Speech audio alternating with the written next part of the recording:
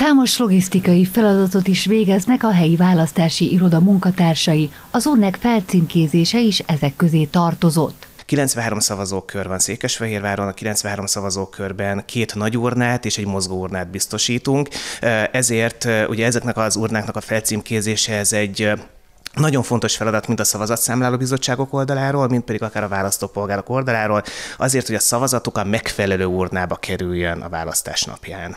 Speciális a 28-as szavazó körszavazó helysége, ami a Munkácsi Mihály általános iskolában került kialakításra.